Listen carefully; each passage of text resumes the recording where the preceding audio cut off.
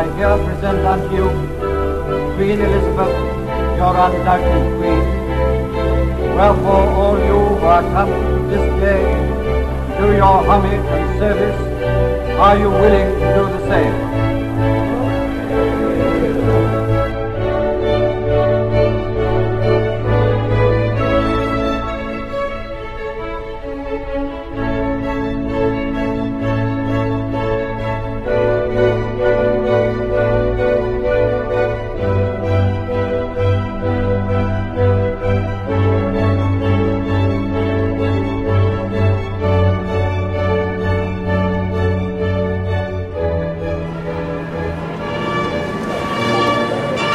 Could you please stand uh, your appearances?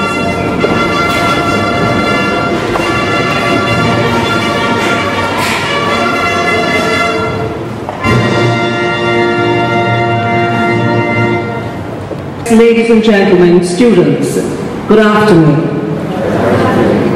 I've been asked by their excellencies to navigate you through this program as we celebrate the milestone of Her Majesty the Queen on the occasion of becoming the longest reigning British and English monarch.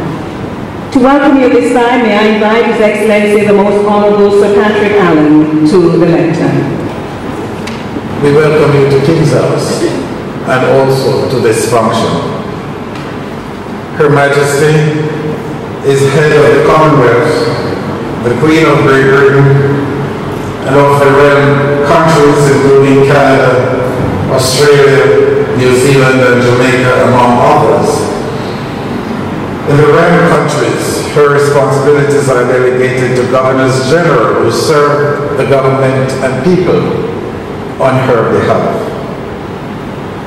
She is widely acknowledged for her exemplary service, leadership, and her effortless dignity and humility and a generosity of spirit.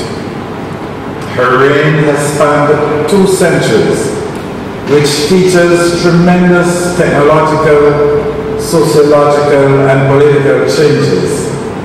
Yet the grace and confidence with which she has embraced each inevitable change is a model for leaders everywhere.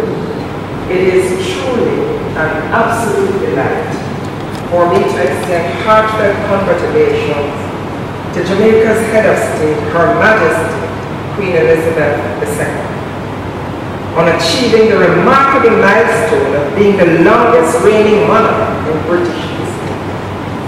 I extend sincere good wishes on behalf of the government and people have never wavered in our love and respect for her graciousness, sophistication, humility, charm, and beautiful manner in which she has carried out her royal responsibilities for more than 63 years as sovereign.